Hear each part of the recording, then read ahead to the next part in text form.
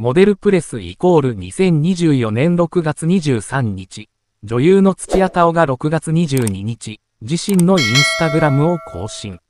夫で GENERATIONSの片寄涼太のオフショットを公開し、反響が寄せられている。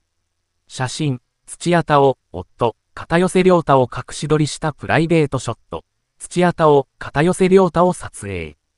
片寄と土屋は、イタリア・ミラノで開催された、ジョルジオ・アルマーニ2025年春夏メンズコレクションに出席。目音揃っては結婚後初の公の場となった。片寄せがブラウンのセットアップ、土屋が大胆にスリットが入ったスカートをスタイリッシュに着こなしており、夫婦ツーショットは SNS 上で大きな話題を集めていた。今回の投稿では、アルマーニー賞に惹かれる理由のほか、ミラノの賞はあまりにもすごかった。本当に素晴らしかった。衣装はもちろん、モデルさん型のまとう空気も空間も時間も全部が作品であり、物語に没入するような圧倒的な引力がありましたと翔平の興奮を思いのままに綴っていた土屋。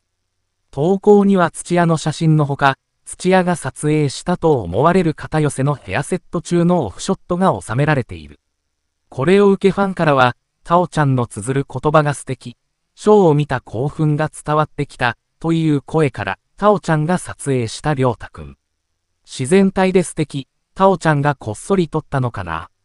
やりとりが可愛すぎてにやける、想像するだけで悶絶、夫婦の仲の良さが伝わる、といった反響まで、多数のコメントが寄せられている。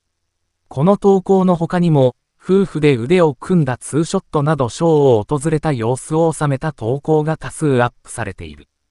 二人は2023年1月に結婚と土屋の第一子妊娠を発表。同年8月に出産したことを報告していた。モデルプレス編集部、